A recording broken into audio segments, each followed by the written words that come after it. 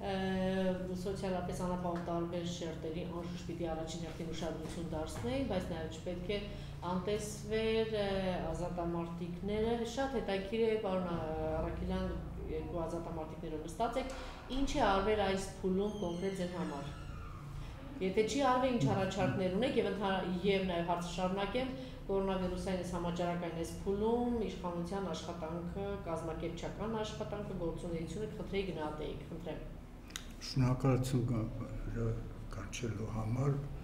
նախ եւ առաջ ասեմ միան ինձ համար չի ես հավատացած եմ եւ կարող եմ ապացուցեմ բանի պաշտպանության նախարարության սոցվարչության բոլոր որ ասում ա տվյալներով կարելի ապացուցած եթե ես սուտ բան ասեմ թող ստուգեն ոչ մին հաշման անդամ ազատամարտիկի մի դրամ անգամ որպես ազատամարտիկի անվան տակ օգնություն չեն ցուցաբերել այս 3-4 ամսվա մեջ եւ ասուրը չի բանան ոչ մի ազատամարտիկի բացարձակ մշտապես ասում եմ ես.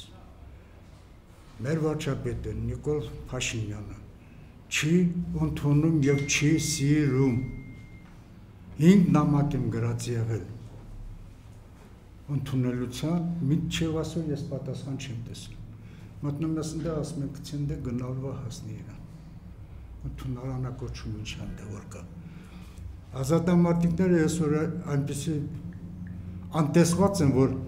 Տեր Պետրոսյանի ժամանակից առ այսօր այդ ձևի անտեսված չի եղել։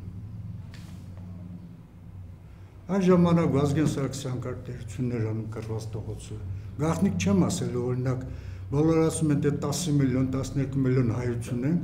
բայց ազատամարտիկները ընդամենը եղել են որտես գնդապետ մարտակ կարա հաստատի 20000-ից ոչ ավելի մարդ մասնակցել։ Թող պատալու 25000 մարդ բան։ 10 միլիոնից։ Այդ այն ժամանակ, որ հայրենական պատերազմի ժամանակ 600.000 մարդ հայությունից 1 միլիոն կեսից մասնակցել, որից կեսից ավելին զոհվել են։ 20000 ազատամարտիկ պահելը ո՞րն է։ Այն ժամանակ որ խոսում ենք Վազգենն ասում էր լուսավորքի բանը սպարապետ ասում է տեղ տեղեր քամփերեք լավաններ երգիր են բան եկա որ լավ պիտի լիներ Դիմիտրյանի հետ Քոչարյանի մեղանի հետ միասին հիմա որ ասում է շաբաթուր փաթի շուտ եկավ եղավ այդ եկել եկավ Ռոբերտ Քոչարյանը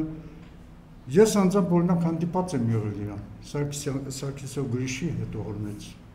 Երկու հարց եմ տալու, մեր կյանքը ո՞նց անել։ Մարդ ասեց, առաջի հերթին խավար, սով, ցուրտ տարիները պիտի վերացնվի, նոր մտածելու բոլորդ էլ ձեր նորմալ կյանքով ապրելու եք։ Եկավ Քոչանից հետո Սերժ։ Ցավ սրտի ես չեմ կարող իրան վատը ասեմ եւ շատ լավ ասեմ, որտեղ ես մենակ Սերժ Սարգսյանի իշխանության ժամանակ 8 տարի գաղութ եմ նստել։ Այո, հանցագործություն եմ կատարել, ես նստել եմ գաղութ Իմ տանը վրան արձակված են եղել 3 հոգու, անհակացանու Վարձով ապրող, առ այսօր 28 տարի ապրում եմ Վարձով, Ռուսաստանից եմ եկել ես, գնացել իմ հողը, Արցախ կռվներ են պատրաստվել բան, եկել եմ ստես, տեղացել ընկել եմ հասել, որ ասում եմ, փողոցներում եք, Անժելա ուրիշ իր ձևի ասեմ, դու մի ազատամարտիկ կարնի ասան Նիկոլ Փաշինյանը կանչել ասել է, այս 100 հազարը վերկա կորոնավիրուսի համար դեղա դիմակա բան արեք Ես չեմ կարող օրի 5 հատ դառնեմ, 4 հատ դառնեմ սրանից։ Սպիրտում դրել ջեբումս մի շիշի միրց ես փչում եմ վրա որ բան։ Չեմ կարողանում 84000 թոշակ եմ ստանում երկրորդ թմբի հաշմանդամիննելով պատերազմի։ Բայց 90000 դնում վրա տանս վարձերի բանը փակում։ Վարձով ապրող եմ ես։ Ես ուզում եմ իմ մարտական ընկերոջ խոսքին ավելացնել հետեւյալը, որ 16 սոցիալական ծրագրեր կորոնավիրուսի դեմ պայքարի եւ սոցիալական վիճակի մեղմացման 16 ծրագրերում եւ ոչ մի ծրագրում ընդգրկված չեն Արցախյան ազատամարտի ապրիլյան պատերազմի վետերանները, Արցախյան պատերազմի ապրիլյան պատերազմի հաշմանդամները եւ հաշմանդամների ընտանիքները։ Այնպես որ այսօր կարելի է փաստել, որ արտակարգ դրության իրավական ռեժիմի ժամանակ Հայաստանի Հանրապետությունում ոչ մի ուշադրություն չի դարձվել ազատամարտիկների երկրապահի անդամների վրա։ Դա ակնառու փաստ է, տահաճ փաստ է, սակայն դա օբյեկտիվ ճշմարտություն է։ Ավելացնեմ նաև հետևյալը։ Երբ Հայաստանի Հանրապետության երկրապահը ոչնչացվեց, բարձր բուն իմաստով ոչնչացվեց, դա Սորոսը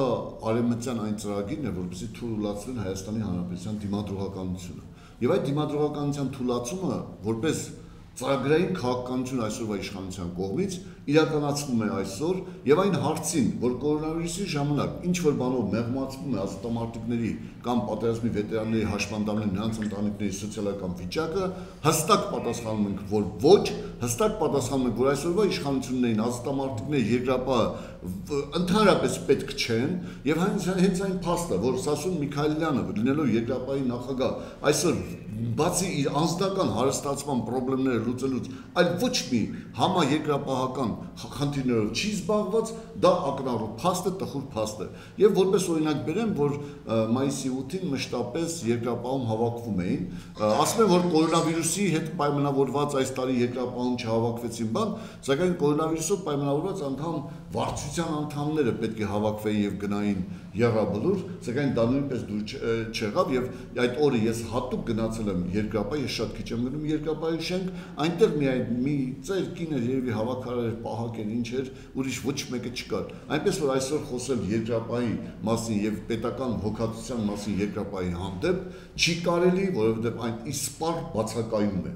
Նիկոլ Փաշինյանի հանցագործ քաղաքականության եւս մի վառ օրինակ է,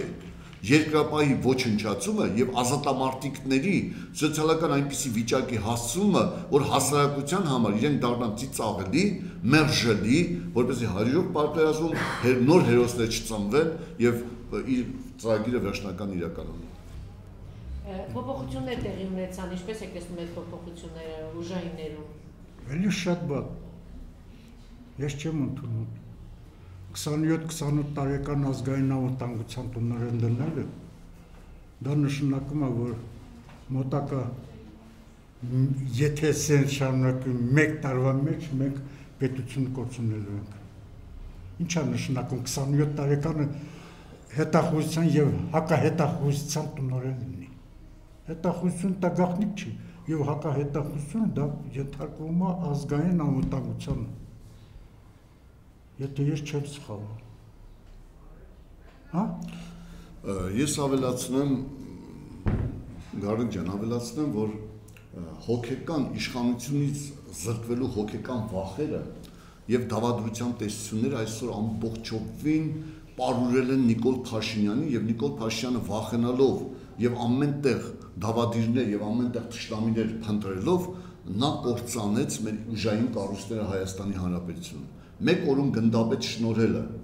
մեկ օրում ԱԱՑ պետ նշանակելը, իր մանկության ընկերոջը ոստիկանության պետ նշանակելը, Պեկի նախագահին, Պեկի նախագահին, Պեկի նախագահին աշխատանքից ազատելը կոռուպցիոն սկանդալների ֆոնի վրա այդ բոլորը նշանակում է որ Նիկոլ Փաշինյանը գլխավոր շտաբի պետին այդ փորձառու համես խելացի գեներալին աշխատանքից ազատելը եւ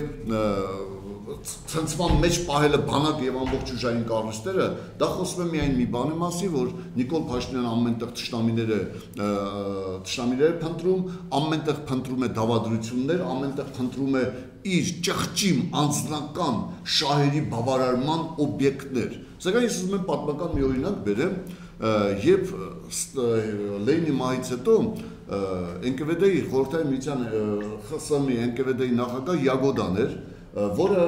կատարեց Տրոցկու եւ Ստալինի բոլոր ցանկությունները, հետո Եժովին բերեցին, Յագոդային ոչնչացրեց Եժովը։ Հետո Եժովը կատարեց Ստալինի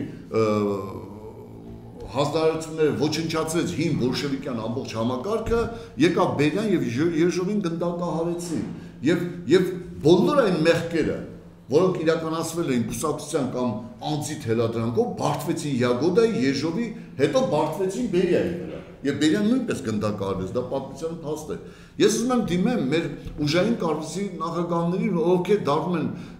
խավության նոխած, ովքեր դառնում են ուղակի էժանագին գործիք քաղաքական անհավասարակշիռ, հոգեկան անհավասարակշիռ մարդու ձեռքում եւ նպաստում են այս երկրի կործանմանը։ Երեք տեսեք լրատվության մեջ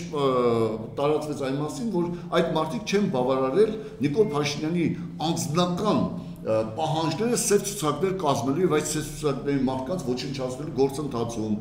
գրվեց նաեւ որ նրանք չեն բավարարել ինֆորմացիան հարուստ մարդկանց փողերի աղբյուրների որպես Նիկոլ Փաշինյանը բռնոցի փոխփոխոցի բաստողոցի օպերացիան նորից խաղա չէ որ այսօր իրանք միայն կորոնավիրուսի 800 միլիոն դոլարը որ եկել է եւ փոշիրացել է երկրում չեն բավարարվում նոր աղբյուրներ են փնտրում տեսեք մամուլում եւ հասարակության մեջ լուրեր պատտվեց 5 միլիոն ակցիզային դրոշմանիչների մասին, որոնք Պեկին նախագահը չի չի ցանկացել օրինականացնել եւ նրանք գործից հեռացել են։ Այսինքն այդ բոլոր կադրային փոփոխությունները կապված են Նիկոլ Փաշինյանի անձնական կոռուպցիոն կամ շիզոֆրենիկ վախերի հետ։ Եվ նա ամենտեղ դավադիրներ փնտրելով մեր երկիրը ուղղակի տանում է կործանման։ Ինչ է նշանակում երկու տարվա մեջ 3 ուժային կառույցի ղեկավարներ փոխեց։ Այդ ուժային կառույցները ինստինկտյան կադրային ցնցումներից ստանում են որակյալ ցնցումներ եւ այդ որակյալ ցնցումները թույլատրում են մեր պետության դիմադրողականությունը թեկուզ ես բազմից եմ ասել որ Նիկոլ Փաշյանը հաստատունորեն տանում է հաստատունորեն տանում է մեր պաշտպանական ռեսուրսների եւ կառավարման համակարգի պետականության ամրապնդման ոչնչացումը Եվ բոլոր այդ կադրային փոփոխությունները ցնցումնային, անբացատրելի, շեզոֆրենիկ, հոգեգար եւ թուլացնող համակարգերը Դրանք հենց խոսում են նրա մասին։ Ես ոչինչ չունեմ ասելու ոչ այսօրվա ԱՑՊ-ի, ոչ նա կասկածելի ծնունդի եւ մնացածի մասին սիրունատես երիտասարդ է, հիանալի երիտասարդ է, ես նրան ամենայն բարիք եմ ցանկանում, բայց ինչպես է նա թույլ տվել մեկ օրու գնդապետ դառնալ եւ մեկ օր, մեկ օր չծառայելով ԱԱՑ-ն դառնալ ԱԱՑ-ի պետի առաջ տեղակալ, հետո ԱԱՑ-ի պետ մի քանի ամիս հետո։ Փորձագետներից մեկն ասաց, որ Փաշինյանը հիբրիդային պատերազմ է սկսել ԱԱՑ-ի եւ ոստիկանության դեմ եւ հիբրիդային պատերազմ է սկսել եւ կազմակերպում է ԱԱՑ-ն եւ ոստիկանությունը։ Ես այստեղ իհարկե համաձայն եմ, բայց ես չէի ասում, որ դա հիբրիդային պատերազմ է, որովհետեւ հիբրիդային պատերազմը եւ տեղեկատվական դաշտում է լինում բախումը, ինքը ֆիզիկական ոչնչացման է գնացել օժային կառույցների, որպեսզի մեր երկիրը դառնա հակառակորդի դեմ հանդիպան թույլ եւ անպաշտպան պետք է վերացվի, պետք է վերացվի ներքին հասարակական համաձայնությունը եւ հասարակական անվտանգությունը իրավական եւ արտաքին ազդեցություն ազդեցությունները պետք է թույլատրվեն, որը այսօր ԱԱՑ-ն վերացնելով արտաքին ազդեցությունները եւ արտաքին հիբրիդային պատերազմը եւ կոնկրետ հետախուզական պատերազմը ակտիվանում է Հայաստանի Հանրապետությունում, որովհետեւ ինչ է նշանակում, տեսեք, քանի փորձառու գնդապետներ, քանի փորձառու գնդապետներ դուրս եկան ծառայություն քանի փորձառու ոստիկաններ դուրս եկան ծառայությունից։ Եվ դրա համար այսօր ես որ երեք խոսում եմ ես ոստիկանության մայորի իմ նախկին ենթականերից մեկի հետ, ասում եմ, լավ, այս ասֆալտին փռել է, անասունությունը ոստիկանները ասում, պարոն Հովանեսյան, իրենք ձեռնամարտի հնարքներ չգիտեն որպեսզի մարդուն կարողանան թե ողորը կանգնած վիճակին իրենք չգիտեն մարդու հետ հոգեբանական եւ ֆիզիկական կոնտակտի ձևերն ու մեթոդները եւ ինքը ասած ոստիկանության մասին օրենքի 33 հոդվածում հստակ գրված է որ պետք է մարդուն մարդուն նախ խոսքով ասել, երբ նա չի ենթարկում ոստիկանության օրինական պահանջին նոր դիմել ուժային մեթոդների։ Իրանք միանգամից դնում են ուժային մեթոդների։ Երեք ես նայեցի Սամվել Ալեքսյանի եղբոր որդու այդ պատկերը անկախ դրանից ես ինչպես եմ, ես այսօր Սամվել Ալեքսյանին շատ վատ եմ ընդունում, բայց ինչպես կարելի է ոստիկան, հայ ոստիկանը կանոչ ներկայությամբ երիտասարդ տղամարդուն գցեն ոդքերի տակ ինչի համար 4-ը ոստիկան մի տեղ գցում են ոդկը, դա հերոսություն չի։ Դա գիտեք ինչ կա այդ ոստիկանները թող մտածեն, որ իրենք այս երկրում են ապրել։ Այդ ոստիկանները թող մտածեն, որ իրենք աղավաղում են տղամարդու կերպարը, որը հարվածելու է նաև իրենց։ Չի կարելի այդպես։ Ոստիկանության մասին օրենք գոյություն ունի։ Ոստիկանությունը նախ դիմակով իրավունք ունի քաղաքացուն մոտենալ։ Որովհետև օրենքը ասում է, որ ոստիկանի արտաքին տեսքը քաղաքացին պետք է տեսնի ամբողջությամբ։ Պետք է ներկայացնի իր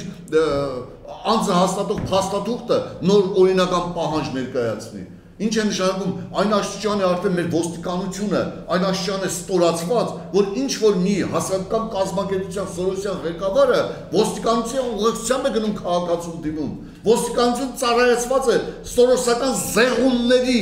ամբիցիաների կամ ով է Դանելյանի Դանիել Ինոնիսյանը, որ Հայաստանի Հանրապետության քաղաքացիից օրինապաշտություն պահանջի։ Ով է նա ամբողջ կյանքում օտարերկա գործակալ հանդիսացող օտարերկա փողերով ապրողը այսօր Հայաստանի Հանրապետության քաղաքացուց օրինապաշտություն է պահանջում։ Դրա համար մենք ունենք ոստիկանություն, դրա համար մենք ունենք իրավական համակարգ։ Ինչ է, արդեն իրավական համակարգը ծառայում է։ Նիկոլ, դու այդ ինչքան ստոր ու քանդող ես եղել, որ այս երկրի ամբողջ համակարգը ենթարկացնում ես աշխարհականդ զեղուն սորոսականների։ Եվ ես գտնում եմ, որ այս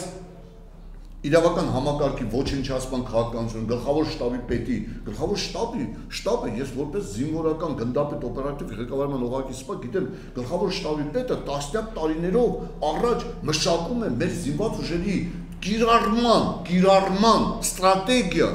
եւ այդ կիրառման ստրատեգիան մշակողներին երկու տարվա մեջ 3 հոգու փոխում է մեր բանակի վիճակը ինչ պետք է լինի Երբ պաշտպանության նախարարը որպես քաղաքացիական անձ միայն ապահովման գործընթացներ մարտական կիրառումը գլխավոր շտաբի պետի վրա է դրված։ Եվ այն ժամանակ երբ Հանիբալ դարպասների տակ է թուրքը զորավարություն զորավարության հետևից է անում կիրառելով գեր ժամանակակից տեխնիկաներ հրթիռային համակարգեր մենք մենք մի հարսանիքի համար փոխում են գլխավոր շտաբի պետի համար շնորհավորում եմ ես եմ իշ ճոխ չի արել 100 մարդ է հավաքել բոլոր ազգականները եղել իրար հետ անդադ շփող դա ինչ արդ է իսկ այդ ինքայլական ցիտադելի օրգիայից հետո իր աշխատակազմի ղեկավարին ինչու չհեռացրեց Ավինյանը որ առանց դիմակի գնացել էր հարսանիքին ինչի չհեռացվեց իմ քայլականների այդ ոհմակը, երբ որ քաղ պայմանագիր կուսակցության նիստ է անում իմ քայլական այդ ոհմակը իր հետևից ընկած առանց դիմագրի, ինչու՞ չէ տուգանում դրանց։ Թե խաբության նոխազներ են պետք իր իր հողակիցներին բերի դնի իշխանության բարձրագույն օղակներին որպես հետարան դառնա։ Ես ասել եմ Նիկոլ Փաշինյան դավադրությունների եւ հոգեգար վիճակով հերանաններ չես գտնի երբեք ցանկացած ոք ում նշանակում ես պաշտոնի, հիմա իր սեփական մաշկը փրկելու համար է։ Առաջին этаպում բարձր պաշտոն ստանալը, ստանալով գայթակղվում են եւ գնում են, բայց հետո խորանալով քո գործունեության մեջ եւ գիշերը տարօրինակ զանգով զանգում ես մարդկանցից, ինչ որ հրամաններ ես տալիս այդ տարօրինակ զանգերից եւ ձայներից հետո նրանք արդեն մտածում են ինքնապաշտպանության մասին եւ ուղակի ուղակի դառնում են քո ամենավոխերին ճշտամին եւ հիշիր շատ քիչ է մնացել յուրաքանչյուր ոգ է պատասխան տալու Նիկոլ Փաշինյանի սայլին լծվելու եւ այս այս երկիրը կործանման տանելու